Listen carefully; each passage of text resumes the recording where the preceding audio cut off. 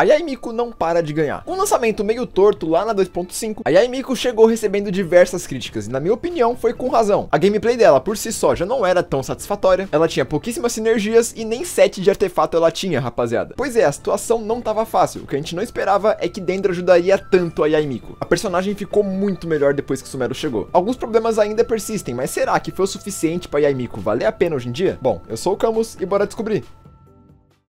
A Yaimiko é uma personagem bem peculiar e não só na lore. Ela, apesar de parecer uma sub-DPS, também gosta de ficar um pouquinho em campo, já que a gameplay dela consiste em você colocar os três totens em campo, ultar, o que consome esses totens, e depois colocar eles de novo. E como deu pra ver, isso leva um tempinho, né? Então caso você queira usar Ultimate com frequência, você tem que montar times que giram em torno disso, que torna a Yaimiko também uma main DPS. É uma personagem versátil, com vários estilos de jogo diferentes, com builds diferentes também, e ela é uma boa opção no que ela se propõe a fazer. No entanto, é, de fato, Dendro ajudou muito ela a ter uma identidade própria. Agora, ela tem uma reação que aumenta muito o dano dela na parte principal do kit, que é os totens. Esses totens têm CD, tá? Não é sempre que rola a reação, mas esse cooldown é individual para cada inimigo, ou seja, quanto mais inimigos, mais reação e mais dano também. Esses times de Dendro também envolvem buffs de proficiência e finalmente essa passiva da Yaimiko faz algum sentido. Ela ganha bônus de dano nos totens com base na proficiência dela, coisa que normalmente você não quer buildar. Pois é, meio bizarro, mas em times de Dendro é bem útil. Enfim, mesmo com tudo isso a favor dela, a Yaimiko não é obrigatória para você conseguir fazer bons times de aceleração. Ela tem muito dano na skill e na ultimate sim, mas a ult é caríssima, cara, é 90 de custo e o cooldown é bem alto. Você não vai conseguir usar ela com tanta frequência assim. Somado ao fato dos ataques básicos não darem muito dano, eles fazem reação, mas ainda assim não é grande coisa, faz com que a Yaimiko não seja uma personagem absurdamente forte. E o mesmo vale para a função de sub DPS dela, tem muito personagem que desempenha a mesma função que a Yaimiko e às vezes é até melhor que ela. Lembrando, às vezes, já eu chego lá. Na minha opinião, o ponto forte dela é a versatilidade, como você pode usar ela de várias maneiras diferentes e ainda assim ter bons resultados, mesmo em times que não envolvem Dendro. Para quem tem poucos personagens ou para quem aprecia personagens flexíveis, eu acho a Yaimiko uma ótima opção. Mas é claro, você tem que curtir a gameplay, tem muita crítica com relação a isso, né? Meio travada, dashzinho, assim, meio estranho. Não é incômodo para todo mundo, então se você curtiu aí, testou no modo de teste e gostou, pode rodar que a boneca é da hora. Mas tenha em mente que, independente do time que você quiser fazer, você pode fazer sem ela tranquilamente, ela não faz falta na sua conta. Um time ou outro vai ser afetado sim, mas não o suficiente para valer a pena você rodar pra um boneco que você não gosta. Então pode ficar sossegado. E aproveitando que eu puxei esse assunto, bora comparar a Yaimiko com outros personagens. Uma comparação que é feita com a Yaimiko e assola ela desde o lançamento é com a Fischl. E falando a real para você, cara, hoje em dia a comparação nem faz tanto sentido assim. A Fischl é uma sub-DPS Electro, que fica pouquíssimo tempo em campo e tem um potencial de dano muito alto. Eu tenho um vídeo inteiro dedicado a ela explicando como a Fischl funciona, mas eu percebi que até hoje o pessoal não entende a personagem. Muita gente acha que o dano dela é só o Oz, quando na verdade não, cara. O passarinho cuspindo é só uma das fontes de dano que ela tem. E não, eu não tô me referindo a C6 dela, que sim, causa um dano legal também. Eu me refiro ao talento de ascensão dela. Com essa passiva aqui, sempre que o Oz tá em campo e uma reação electro ocorre, a Fischl atinge o inimigo que foi afetado. E nem precisa ser a Fischl que causou a reação, o Oz pode estar tá lá na casa do cara. E ainda assim, quando se fizer uma reação electro, vai cair um raiozinho ali na cabeça do inimigo. Um dano que é considerável e que também reaplica electro. Isso aqui não tem ICD, o que torna a Fischl uma aplicadora electro extremamente forte. E é aí que vem o pulo do gato. A reação de intensificação é uma reação reação que envolve electro, correto? Correto. Ou seja, se você aplica um pouquinho de dendro e aplica electro continuamente, você vai ativar a reação de intensificação, a Fischl vai bater com a passiva dela, e esse hit que ela dá também vai aproveitar o estado de Quicken, causando muito mais dano que o normal. Pode ser um pouco confuso de entender, mas resumindo, em times de dendro, quanto mais você aplica electro, mais a Fischl dá dano. Por isso, ela é uma parte quase fundamental nos times de intensificação. E já aqui, quanto mais electro você aplica, mais dano a Fischl causa, você quer ter ela junto de um DPS